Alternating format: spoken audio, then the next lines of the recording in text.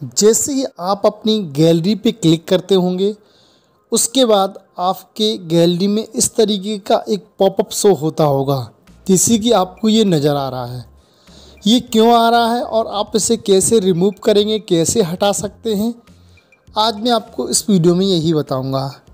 अगर आप रियलमी का कोई स्मार्टफ़ोन यूज़ करते हैं तो उसमें फ़ोटो एप्लीकेशन को ओपन करते हैं, उसके बाद आपको इस तरीके से पॉपअप्स दिखाई देता होगा।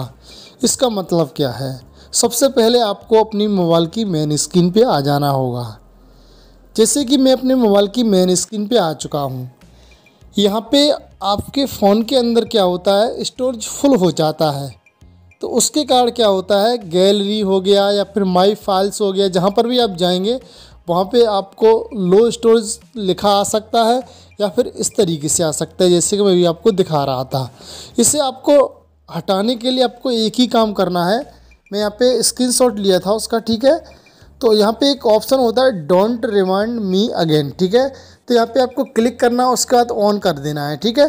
उसके बाद ये आपको नहीं शो होगा, ठीक है? अब यहाँ पे अपने स्टोरेज की प्रॉब्लम को आप कैसे फिक्स कर सकते हैं? इसके लिए आपको अपने मोबाइल की सेटिंग में जाना है और यहाँ पे आपको सबसे पहले मिलेगा ऐप्स ऐप्स पे क्लिक करना है। या फिर ऐप्स या फिर ऐप मैनेजमेंट मिलेगा, ठीक है? या फिर यहाँ पे ऐप लिस्ट मिल सकता है, उस पर क्लिक करना है। और आपके फ़ोन के अंदर जितनी भी ऐप्स होंगी, यहाँ पे नज़र आएँगी आपको, ठीक है?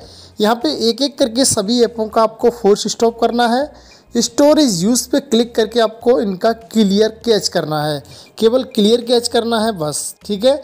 यहाँ पे जितने भी ऐप्स हैं जो आप चलाते हैं, ठीक है? बेसिकली यहाँ पे जितने भी ऐप होते हैं फ़ोन के वो सभी शो हो जाते हैं। उनका आपको क्लियर कैच करना है। क्लियर कैच करेंगे, आपकी स्टोरेज की जो फुल की प्रॉब्लम है, वो सॉल्व हो जाएगी, ठीक है? या फिर आप अपने फ़ोन के गैलरी में जाके जितने फालतू के ऐप हैं, यानी कि सॉरी फ़ोटो वीडियो हैं, जो भी हैं, उन्हें आप डिलीट कर दीजिए, यानी कि आपकी मेमोरी है, भर चुकी है, ठीक है? जो भी महत्वपूर्ण चीज़ें हैं, उन्हें आप गूगल ड्राइव के अंदर सेव कर दीजिए, ठीक है? फ़िलहाल मैं इस वीडियो में लेता हूँ। विदा, आपको ये वीडियो कैसी लगी हमें कमेंट में ज़रूर बताएँ।